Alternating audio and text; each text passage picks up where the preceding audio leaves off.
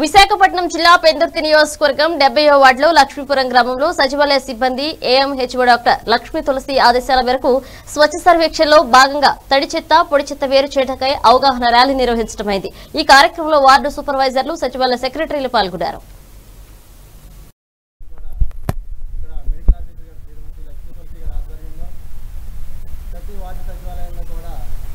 అవగాహన కల్పించండి ముందు.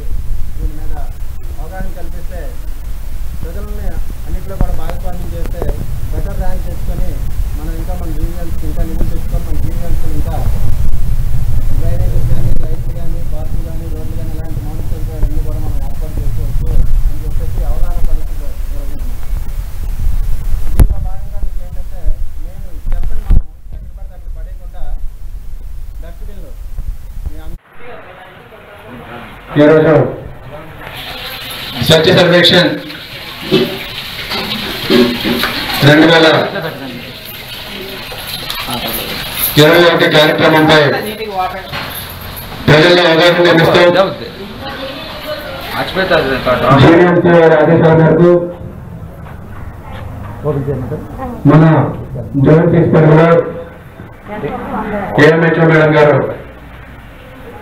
అటుపక్కలు మాట్లాడుకోండి మన లక్ష్మీ తులసి గారి ఆధ్వర్యంలో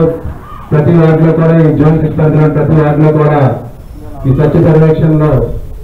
సరిచేత చెత్త వేరు చేయడం వీటిని మీరు జీబీఎంసీ వారికి అందించాలని వీటి మీద అవగాహన సదస్సులు నిర్వహించమని ప్రజల్లో అవగాహన కల్పించాలని లక్ష్మీ తులసి మేడం గారు